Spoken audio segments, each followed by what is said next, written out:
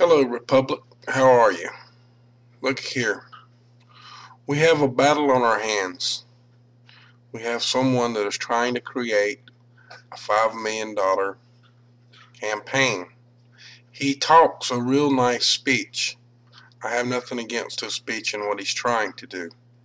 The only thing I do have wrong with his speech is he is fighting for a democracy. We are a democratic republic, and we always have been, and we should fight for a democratic republic, not a damn democracy, as you see in here that I wrote. And I also gave him the article to the Act 1871 underneath his video since he turned on his comment area today. And I also put in here the 5th and the 6th to stay home. this is up to us people. It is a call for y'all. And he says Mayday. I'm not going to say Mayday. I'm going to say SOS. Dot, dot, dot, dash, dash, dash, dot, dot, dot. That's Morse code. For SOS. So, listen up, folks.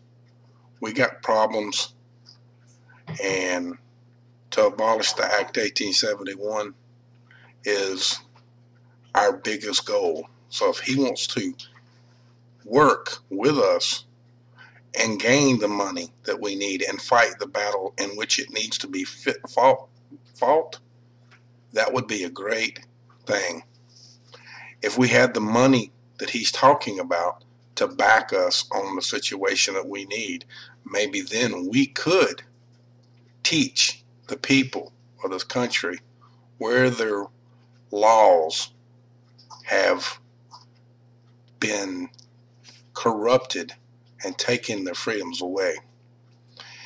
He has a good speech. I don't have nothing against him. I don't know for sure if he knows. Hmm. I don't want to say that because he's a professor.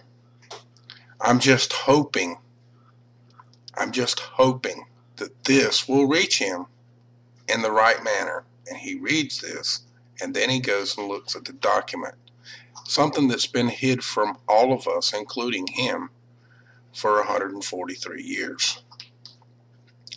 It is a call for all of you to help him realize the same thing.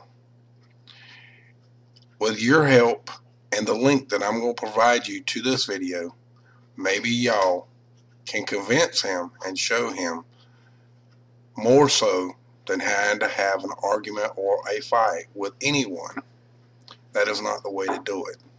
But hopefully, with the information, since I never comment anyway, but I did here, mainly because I used the situation that needed to be used and the writing that needed to be presented to him to help him understand where we're at.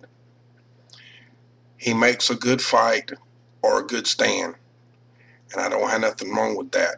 I do have a problem with the word democracy when 51% of the vote can be used against you.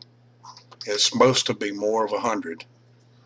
So with that, folks, from my cold dead hands, abolish the Act 1871. Much love, and y'all have a great day.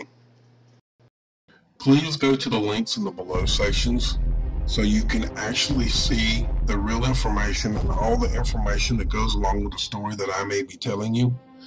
So you can see the truth of everything, including the Act 1871. So much love to y'all. Y'all have a great evening. For my cold dead hands, abolish the Act 1871.